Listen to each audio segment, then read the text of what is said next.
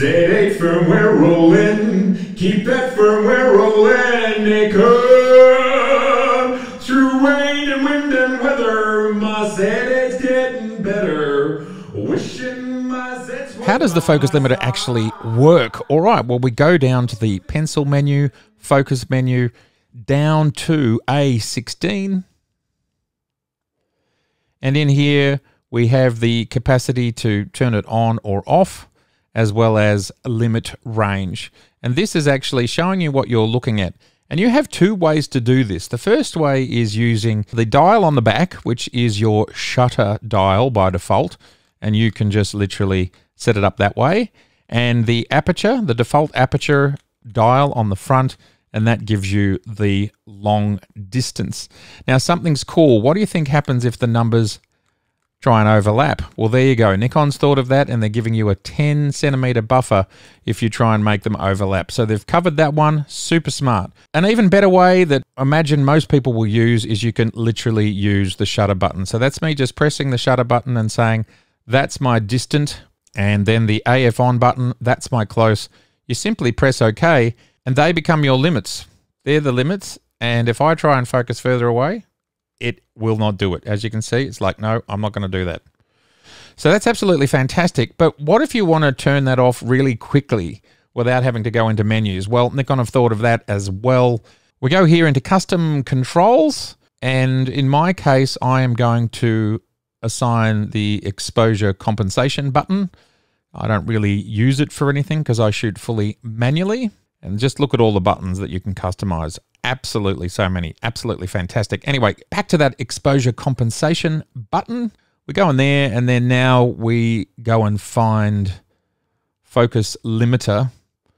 But just have a look. Like if you've never looked at customizing your buttons before, there is just so many functions that you can assign to certain buttons. There's just an enormous amount of customization available. Anyway, there's the focus limiter there. And now it's assigned to that button and you can just see it's super easy for me to turn it off. Okay, so we've turned the limiter on.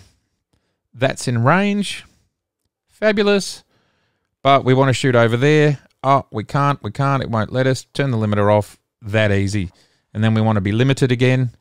And we're limited. Just super fast. Now I can see this being a bank and where you press this one, two, three times and you actually get a bank of three different focused limited areas. So one focus limit one could be one to two meters, two could be 10 to 15 meters, and three could be 15 to 30 meters. And you can just fly through them that quickly and then go back to nothing where you get everything. This is an absolutely, from my perspective, just a really well thought out feature that now makes every single lens that you own focus limited. And that's cool because most of our lenses do not have focus limiter switches on them. And they certainly do not have customizable focus limiting. It's set to the hardware of the button, and that might be zero to six meters or zero to three meters. That's it. This allows you to have whatever you want. And as I said, I can see in the future that you might be able to have multiples. Just so brilliant.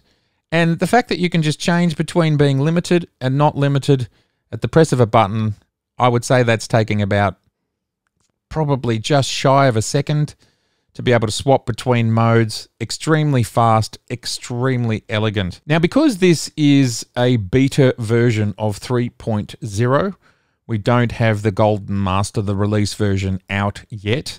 I believe it's coming soon. I did try to test this on F mount lenses. A viewer asked me on this Z8 firmware video, will it work on F mount lenses? And I tried that out, and at the time, it did not. Now, I don't know if that's because this is a beta or this is how it will be for the final version.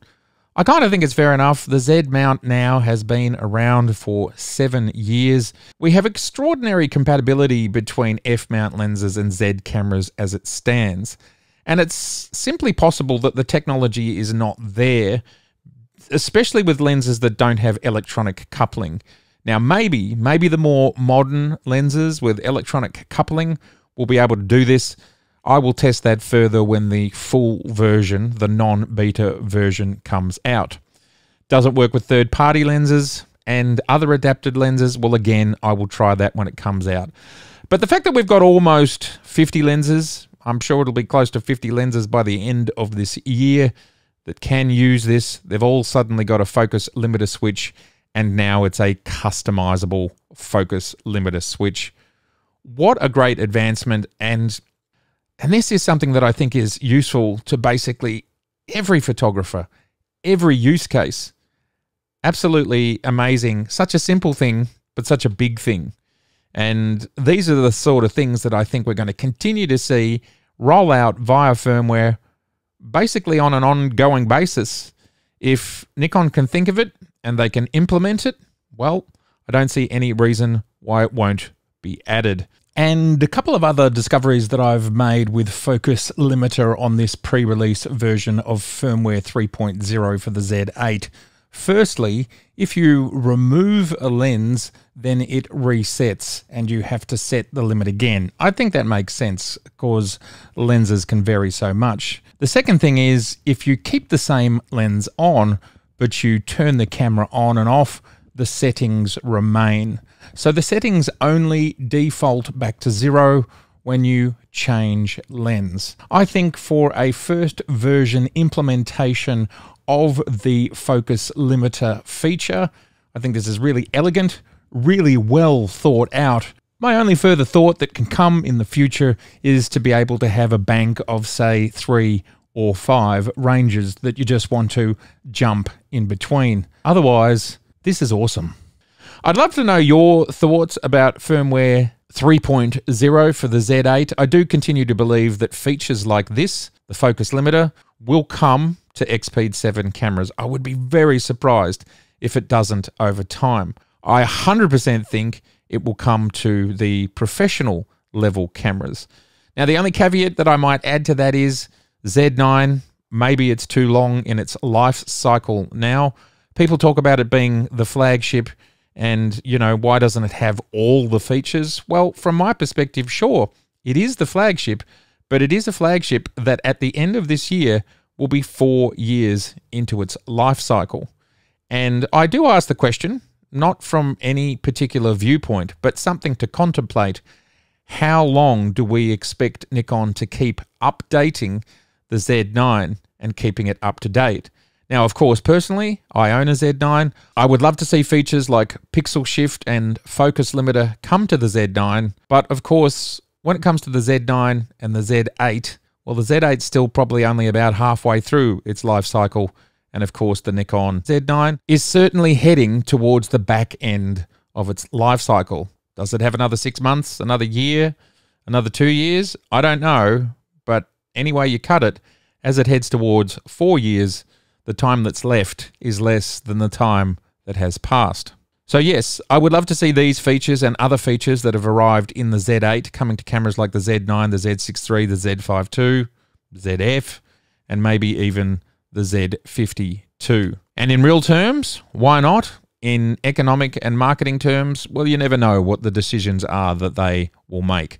Anyway, everybody, I'd love to know your thoughts about this firmware. Please let me know in the comments below. It's been so good to see you. And if this is your first time here, I'd love to see you again. So please do subscribe, please share, and please like. All right. Bye for now.